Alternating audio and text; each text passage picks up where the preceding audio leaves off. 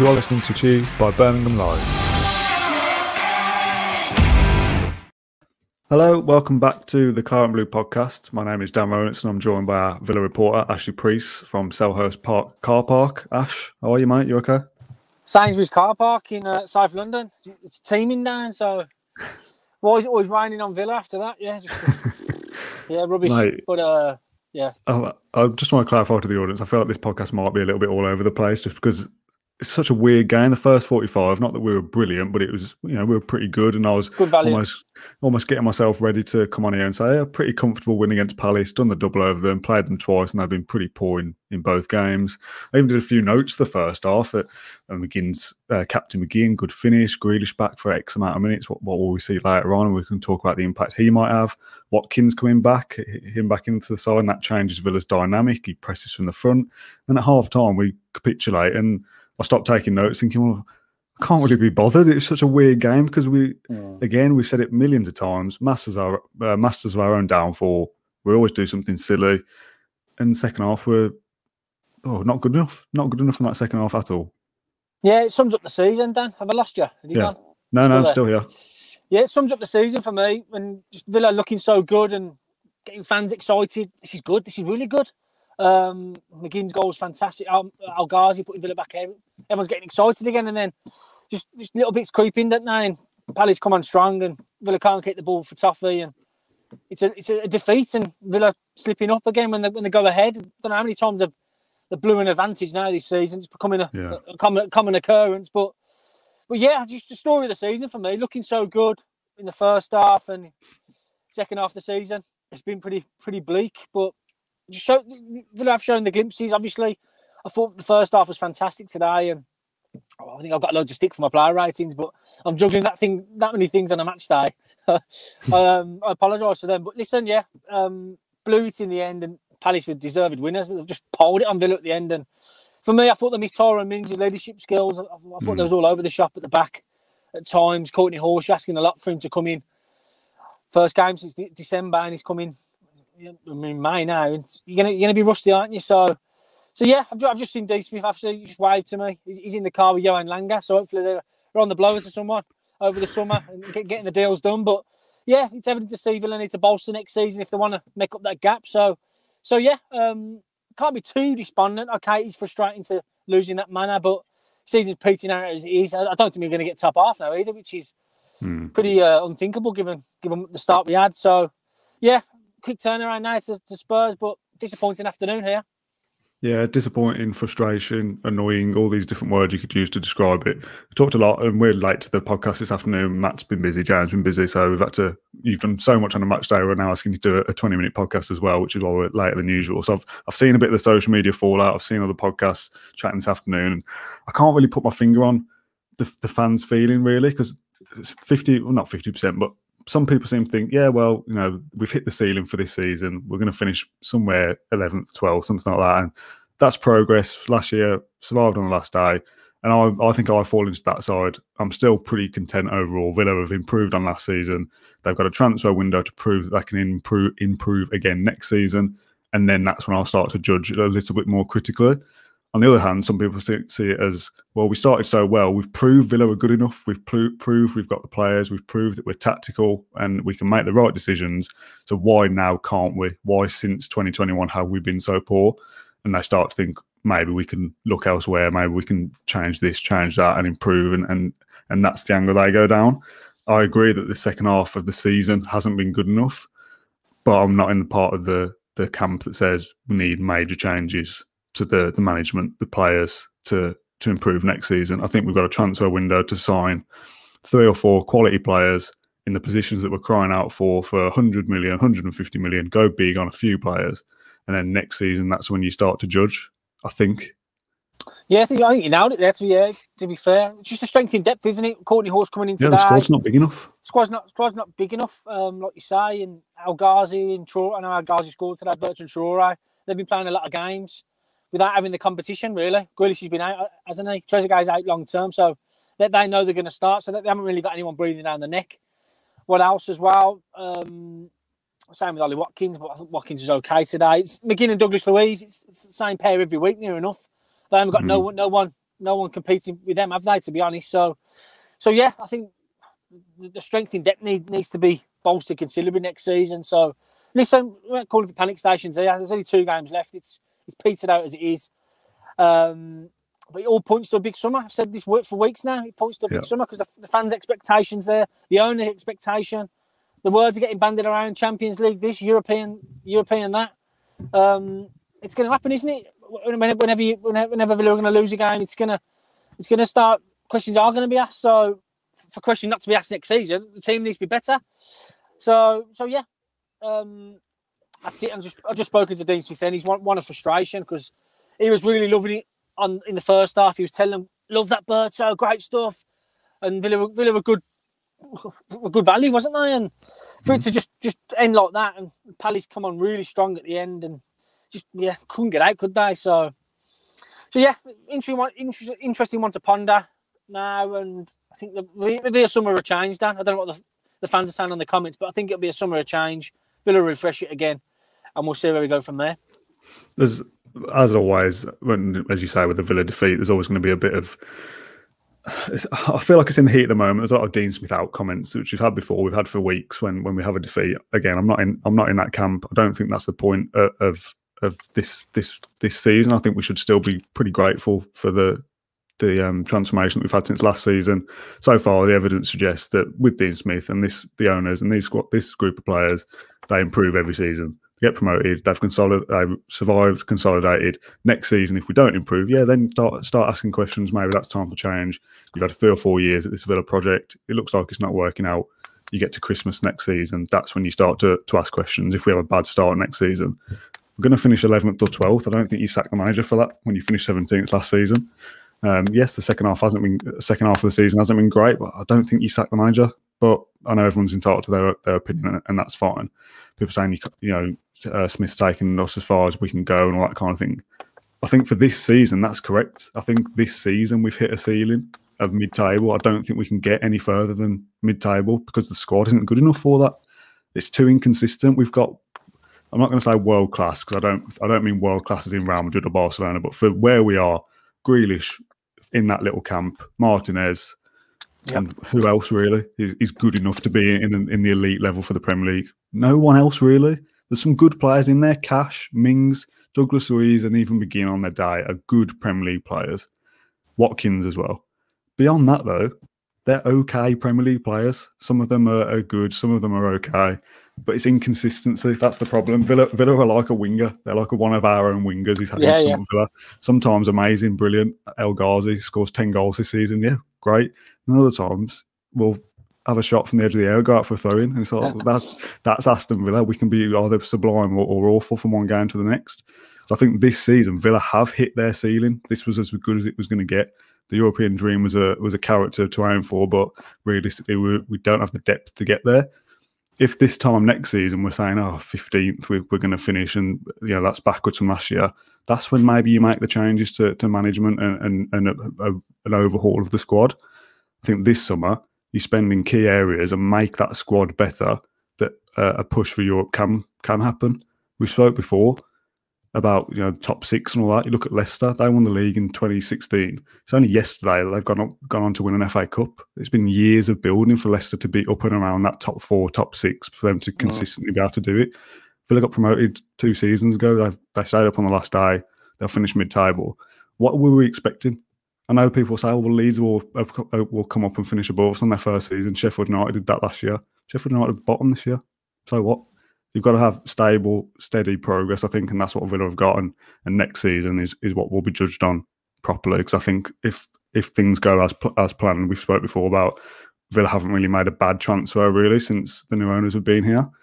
If they if they get this summer window correct and sign the right players in the positions that they we clearly need, we need a big midfielder we need more quality out wide. We maybe need another striker, another defender potentially.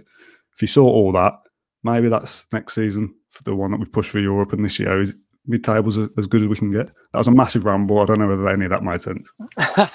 no, it does. Yeah, to be fair, um, just searching out for consistency. Supporters like you, me, Dan, and everyone else, you want it all now, don't you? You've seen, you've seen the flashes of brilliance yeah, of throughout this season. You want it. You, why, why they're doing it that week in week out and they did it for 45 minutes today. And they couldn't see out the game. So it's been a story of the second half of the season for Villa. So, so yeah, I mean, Grealish needs to come back, doesn't he? He needs to he needs to have an injury-free season next season, and yeah. then I think we'll be up there. I said this last week. If Grealish didn't get injured, I think Villa will be up there with West Hams and whatnot. So, but we need we need players to play with him. We need, we need that caliber of player to come in. I think we need a, a potent goal scorer because I mean, for all of Watkins' runs and his hard work, I mean, he had a couple of chances today, but they're straight at the keeper. I think we need a, a real marksman in there to score mm. the goals. When you're not on top, you got half a chance. It's you're ahead. So, so yeah, plenty, plenty, plenty to talk about. It's gonna be a big summer, like I said. I've just seen Johan Lange on the phone in Selhurst Park, so I think he's going to be busy this summer. And it all points to that. Christian Purslow was here today as well. So yeah, big summer needed, Dan. I don't know what the sports are saying on the comments, but it all points to big summer. And um, yeah, keep watch your space. Realistically, you need to spend another what 200, 300 million 400 million to be to become a top six club. It's not going to happen overnight, is it? We spent 100 million odd last year on three or four quality players, Martinez, Cash, Watkins, a couple that I named earlier, and they've made an improvement this squad, and Villa are better for that. If they do the same again next season and push on from 12th to 8th, again, that's a season of progress, and we should be happy with, with that steady uh, increase, shouldn't we? Yeah, I mean, look at the Leicester City model. It's a good model to follow. I mean, obviously, Villa, Villa poached um, they've got Rob Mackenzie in there, had a big success story at Leicester, plucking gems. Yeah. The likes of Kante. So Rob Mackenzie's on board as well at Villa. He's head of recruitment here, so he has a big side behind the scenes. He'll be working with Johan Lange, who, who, who, himself knows a player or two. So they're working a lot with data and, and, and analytics kind of thing. So there will be the odd bargain in there, I think. I don't think they're going to go gun co, £50 million here, £50 million there. I, think they're going to be quite clever about it and astute. They'll look at the Euro 2020s as well any gems flying around there. So, so mm-hmm. yeah, I, I, I envisage as many six, seven coming in. You know, because the, the, squad needs replenishing. Taylor, Elmo, Hourihane, they're all going to go. Heaton looks like he's going to go. Um, yeah. So they'll be adding to that. So I think we'll. What was it? We signed five players last the season just going now. So I think there'll be more, more signings to come. And yeah, it's a big one. I can't stress that enough. Um, but Villa, behind the scenes at Villa, there's a lot of emphasis into recruitment. So that that that, that tells you everything what what they do this summer. So yeah, I would I'd like to see the youngsters. Everyone, everyone witnessed them on when was that now Friday night. Yeah. Kind of took a week. I thought he'd get some minutes today. That didn't happen, but I think we'll see him at Spurs or or Chelsea at least. So Louie Barry's coming through the ranks as well. So they've got the youngsters are coming through. Whether they'll blood them in, we'll, we'll see that over pre-season. But yeah, um, I don't know what's what's a general feeling on, on, on this pod, mate. I mean, it's tough one to take. I mean, I'll ponder it on the drive home, but it's, it's two games left. It's Fans back in next week as well. That's a mm. positive, surely. They can see, yeah. see with their own eyes. Yeah, I hope that the fans that do get to, uh, uh, you know, lucky enough to be there next week, you know, enjoy the day and, and, make the most of it because, and it's not this kind of weird negative atmosphere that we're getting on social media in the in the last few weeks. You know, if you're lucky enough to be at Villa Park next week, get behind the boys and, and enjoy it. Um, there's a stat that I saw on Twitter before we started. I think it came from Opta. Uh, Aston Villa have dropped 19 points from winning positions in 2021, the joint most of any side in England's top four tiers. They hadn't dropped a single point from a winning position this season before the turn of the year. How do we go from wow. if we go ahead, we won before Christmas. This uh, the second half of the season, losing 19 points from winning positions is a is a big big amount. Um, I said on on Twitter earlier that um, the moment that Sky mentioned that Crystal Palace had, you know, been hundred years or whatever it was since they've um, since half time they've been losing. They've never won the game in the second half. As soon as I mentioned that, I, I don't know what the record was. It was something like thirty odd games. As soon as I mentioned that, I thought, that's it. Then they're, they're going to beat us today. Whenever there's a bad record, Villa break it. Yeah, so Smith was quite uptight about this. He was he was mentioned about this in his press conference just now. Um, keep blowing leads. What is that? He said Listen, we played Liverpool, Man U, Man City, all in there. So he tried, he tried to play that down, saying we're playing against one of the best teams in the division when, when they capitulated. So, yeah, I don't know what to make of that. I, I mentioned to Smith, I said he missed Tyrone today, his leadership skills, body on the line mentality, and he kind of agreed. And he said Courtney Hause struggled for, to play. He hasn't played enough games, um, hmm. struggled fitness at the end. So it's one of them, isn't it? Really, I mean, you go go a goal ahead against Man City, nine times out of ten they're going to come back, aren't they? But yeah. today was today was disappointing though the manner of it. Um, to get over the line. So, what do you point that down to? Smith played that down, given the opposition up against. But I think it's that ruthless streak. I've, I've mentioned it. Like you have, you have half a chance. El Ghazi decision making in the final third of the pitch, whereas you got Jack Grealish coming on. If he starts a game, he makes the he makes the, the right decision all, all the time. So missed his creativity today to, to, to muster up chances in the second half. So, so yeah, I think Villa need to score more goals than, than, than, than what they're doing. I mean, they scored two today, but they pegged back and def- defensively they weren't good enough. Yeah, it's uh, I don't know what you put it down to. I think it's easy to say that Grealish missed 12 games. That's obviously going to affect everybody. You had the COVID break as well, which is, you know, COVID saved us last season and it's probably put the brakes on this season.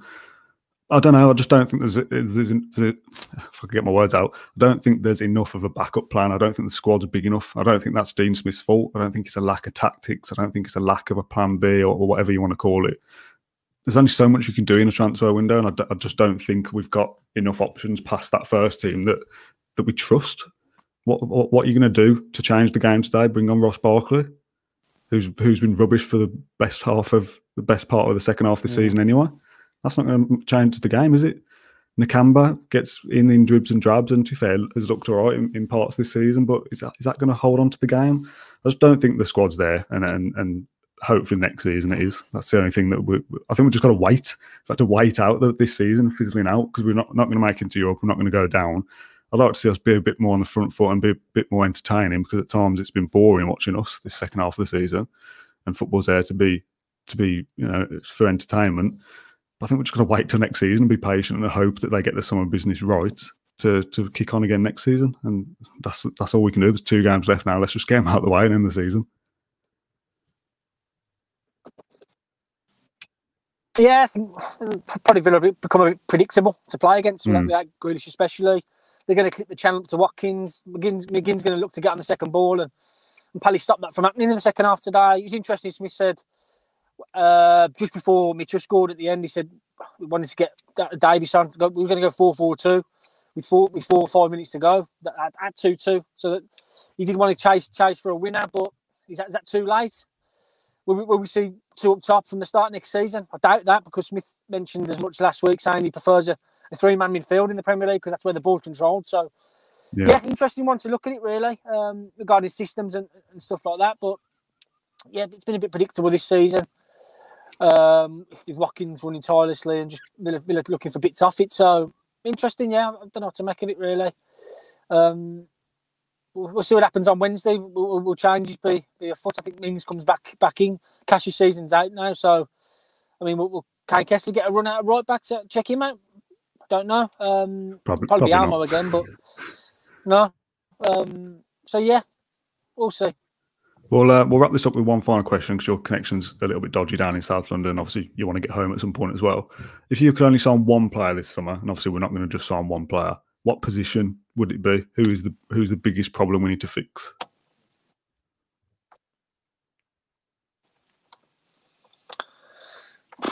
It's I'm torn between a winner and a number ten to be honest. Um, I thought Eze was good today for Palace and Zaha that they come to the fore when they needed to. So someone someone like that who can step it up when needed to be because Traore and El Ghazi don't really do that enough for me. So someone of in the same league as your Grealish, someone Villa can rely on apart from Grealish. So just I'd say a winger with real pedigree, a goal scoring winger, um, who hopefully can, can Villa, Villa can, can get to just help the likes of Watkins and stuff. So I don't think striker is a desperate need. I know Tammy Abraham was missing from Chelsea's lineup yesterday again. Whether that one will be explored, 40 million quid. I don't know what fans are saying about that. He's a goal machine, isn't he? Um, mm. Because you put Watkins on, on the on the flank, that's an option. I think that Villa will look at that. But I think, yeah, I'm torn between the winger and number 10. To, to, just to give the potent threat in the.